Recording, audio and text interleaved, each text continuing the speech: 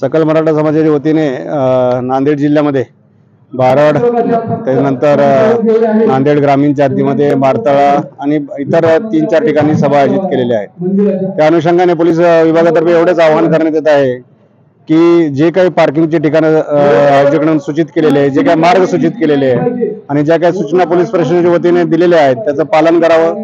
कुठेही कोणी अफवांवर विश्वास ठेवू नये. कोणाचं काही अडचण आली तर पोलीस प्रशासनाशी संपर्क करावा. आणि कोणीही कायदा हातात घेऊ नये.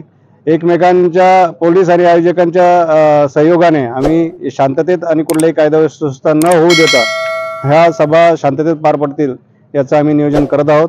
याच दृष्टिकोनातून इतर लोकांनी यास सहकार्य करावं. धन्यवाद. मध्ये मराठा आरक्षणाचा प्रश्न हा एरणीवर येत असताना ठिकठिकाणी मराठा समाजाला एक नवीन चेहरा मिळालेला आहे. ते म्हणजे मनोज जरांगे पाटील यांच्या नेतृत्वाखाली.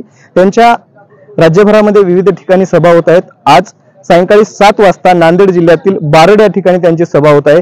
मी सभेच्या ज्या ठिकाणी सभा होते त्याच ठिकाणी आहे.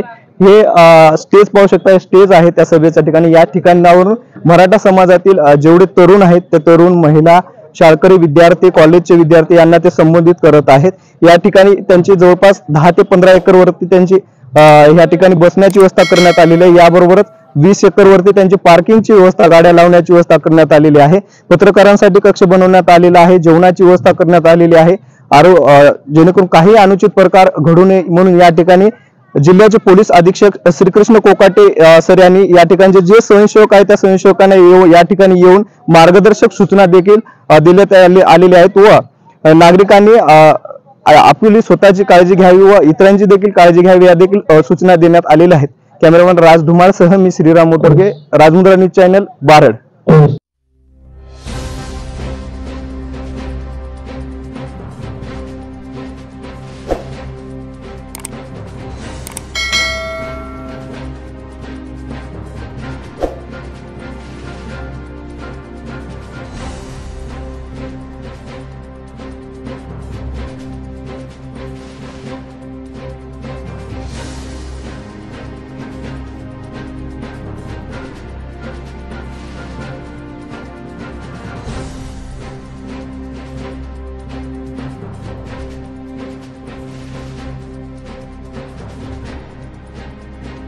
आरक्षण आमच्या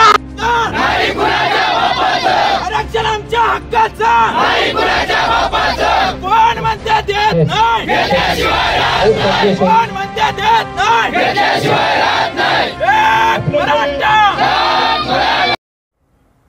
मनोरंजनाचं प्रबोधन करमणुकीचं उद्बोधन. बातमी अचूक माहिती बिनचूक. पाहत रहा राजमुद्रा न्यूज लाईव्ह.